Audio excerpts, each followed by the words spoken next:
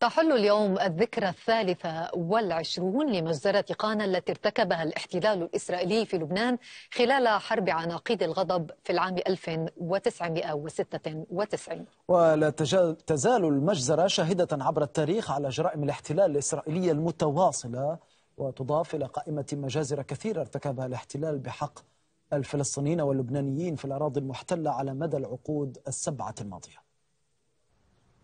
فوق هذه الأرض كان في أحد الأيام سقف أممي.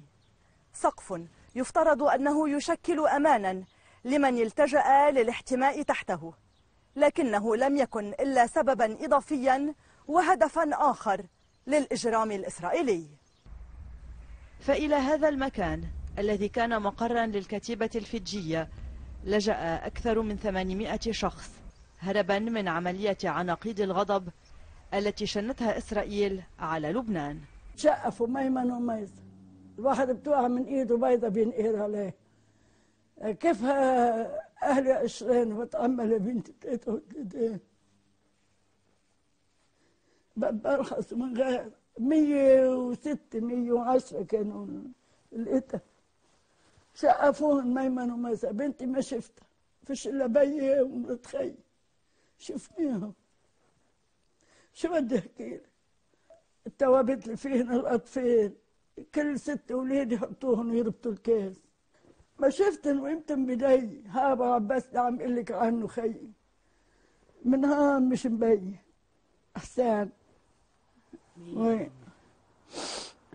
أيه. هو مرته وبنته آه من ها كأنك جايبة يمي مقص وقص ساعه النص. من هون ما لقيني لقيتنه من هون وهذا قربت بدي قيم وقال لي في شيء لا يا ماما أنا بقيم قلت له لا خيي أنا بدي قيم لابو عبيس شافي واحد هيك ملايني طرطشوا ميمن وميسر شوهوا وطرطشوا على الزيتون.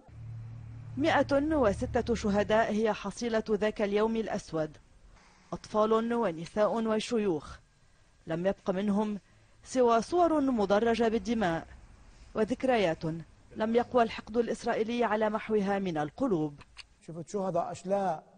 دين جرين روس يعني دماغ اللي بدك إياه. وكانت القذائف الفسفورية ولعت العالم بنار. يعني صرنا صار مثل الرماد.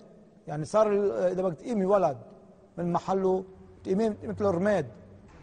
تمضي السنوات والصور باقية. لا يمحيها وقت ولا تخفف من وطأتها مأساة. صور تتكرر كل يوم في مكان آخر وعلى يد مجرم آخر.